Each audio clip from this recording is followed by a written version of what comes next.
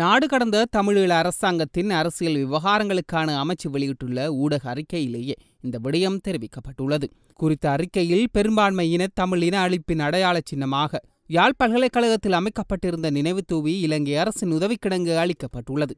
இது உலக தமிழ் மக்கள் மத்தியில் பெரும் கோப உணர்வினையும் வலியையும் ஏற்படுத்தியுள்ளது. தமிழர் தேசம் மீதான பெரும்பான்மை இனவாத ஆக்கிரமிப்பின் மற்றுமொரு கோர முகமாக தமிழ் மக்கள் இதனை உணர்கின்றனர் என தெரிவிக்கப்பட்டுள்ளது. மேலும் இத்தகைய நினைவு சின்னங்கள் தமிழ் மக்களின் கூட்டு நினைவுகளில் பெரும்பான்மை இனத்தின் ஆக்கிரமிப்பை என்றும் நினைவுபடுத்துவையாக உள்ளதாகவும் குறிப்பிட்டுள்ளது. தமிழ் மக்களின் கூட்டு நினைவுகளில் இருந்து பெரும்பான்மை இனவழிப்பையும் கோரமுகத்தையும் மெல்ல மெல்ல அகற்றும் ஒரு முயற்சியின் ஒரு பகுதியாகவே யாழ் பல்கலைக்கழக நினைவு தூவி அளிக்கப்பட்ட சம்பவத்தை நோக்க முடியும். தலைமுறை தலைமுறையாக தமிழ் மக்களின் கூட்டு நினைவுகள் தம்மை குற்றவாளி கூண்டில் நிறுத்தும் என்ற அச்சம் இலங்கை அரசுக்கு உண்டு என்பதை வெளிப்படுத்தியுள்ளது. மேலும் தமிழ் மக்கள் தமது உணர்வுகளை வெளிப்படுத்துவதற்கான அரசியல் வழி இலங்கையில் இல்லை என்பதையும் வெளிக்காட்டியிருந்தது. இதேவேளை இந்த நினைவு தூவி அளிப்பினை சட்டத்துக்கு உட்பட்டதொரு நடவடிக்கையாகவே இலங்கை அரசாங்கமும் பல்கலைக்கழக நிர்வாகமும் வெளிக்காட்டுகின்றன. ஐநா மனித உரிமை சபை கூட்டத்தொடர் தொடங்குவதற்கான நாள் நெருங்கி வரும் இந்த சூழலில் தொடர்ந்தும் நிலைமாறுகால நீதியை பற்றி பேசுவது வரும் காலத்தை வீணடிக்கும் வேலையாகவே இருக்கும். அத்தோடு நீதியை புறந்தள்ளிய வகையில் கட்டுமானமயப்படுத்தப்பட்ட இனவழிப்பு தொடர்ந்தும் இடம்பெற வழி சமைக்கும் என்று தாம் கருதுவதாகவும் அந்த அறிக்கையில் கூறப்பட்டுள்ளது.